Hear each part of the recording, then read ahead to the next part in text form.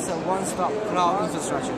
After ship to the lab, power on, and 30 minutes later, the whole virtualization platform is ready, and you can start to yeah, you can start to deploy in the virtual machine.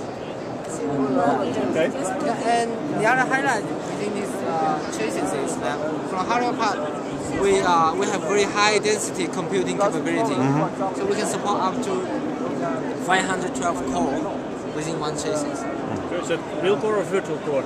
Uh, physical core. Physical so core. basically, it's uh, 64 node, 64 CPU socket within one chassis, and 8 core, right? So total is 200, uh, 500. Eight core per, per 8 core per socket and 64 socket per chassis. Okay. And totally we can also support up to 12 terabytes memory, Random access memory. random access, Yeah. Okay.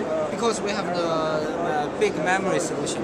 So you see the memory chip on the right Yeah. is a little bit high, a little bit high. The left is the, the standard one, the right is the higher one. So, but it provides double capacity. double capacity. Okay. So just one break we can